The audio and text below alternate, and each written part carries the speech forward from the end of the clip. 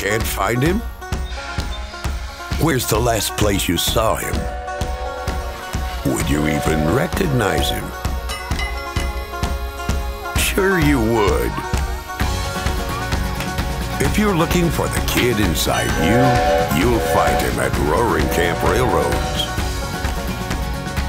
Everybody rides for the Kids Fare every weekday after 2 p.m.